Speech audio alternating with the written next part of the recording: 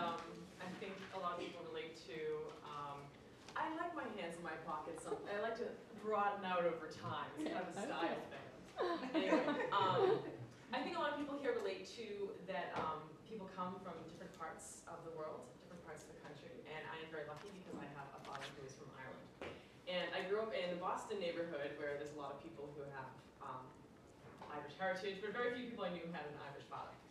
And so the question was, how I take after my dad? Well, the first one is, is that I learn like him, which is very frustrating. When I was a kid, you know, you say, I gotta do my homework, and you go up to your parents and say, help, help me on this, and I'd hand my dad the stuff, and then he would look it over about, you know, an hour, and I'd say, Dad, have you figured it out yet? Oh, no, no, no, I'm still working on it, don't worry about it. And then I would come back after a while, and finally, when he's figured it out, Dad, I have to go to bed. So that wasn't a lot of help. I realize I'm just like. It takes me a long time to learn things, but when I've got them, I've got them. So I thank my dad for that.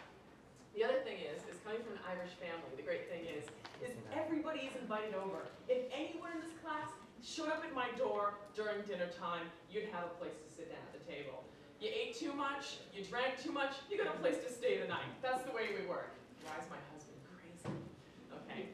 And the last thing is, is that in Irish families, or just Irish people in general, and you can test any of your friends on this, ask them a straightforward question which deserves a yes or no answer. Are you going to be able to show up today at 6?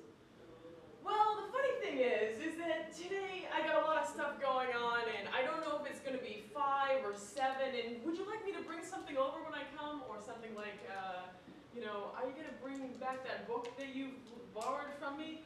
You know, that book is really such a great thing. You know, I've been really reading it and reading it, but then I thought it was the perfect thing to prop up my monitor. Okay?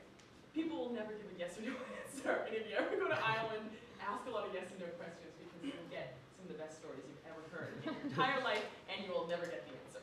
So, in summary, I'm like my dad because I, it takes me a long time to learn something, but when I got